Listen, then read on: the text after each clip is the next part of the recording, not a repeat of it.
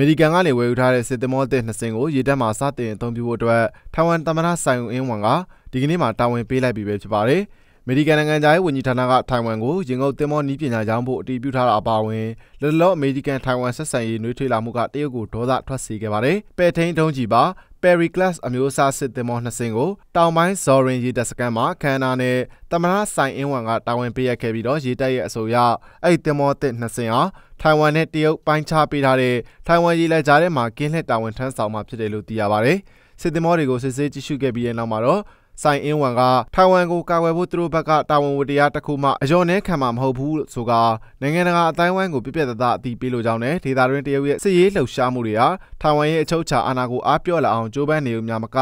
ဒေသတွင်းတည်ငြိမ်အေးချမ်းရေးကိုပါထိခိုက်စေမယ်လို့တတိပေးပြောဆိုခဲ့ပါတယ်။ ထိုင်ဝမ်ရေတပ်ဒုတိယဗိုလ်ကြီးဖြစ်တဲ့လီကျုံရှောင်ရဲ့အစောပိုင်းပြောကြားချက်အရယခုတင်မောနှစ်စင်းရဲ့ရင်ကုန်တင်မောတိုက်ဖြတ်နိုင်တဲ့စွမ်းရည်ဟာထိုင်ဝမ်လက်ရှိချန်ကုန်ဂလတ်အမျိုးအစားစစ်တင်မောရှစ်စင်းထပ်ပုံမိုအဆင့်မြင့်ပြီးတော့တရုတ်ရင်ကုန်တင်မောတွေကိုတံပြန်ဟန်တားနိုင်စွမ်းရှိတဲ့စွမ်းရည်လည်းရှိနေနိုင်တယ်လို့သိရပါတယ်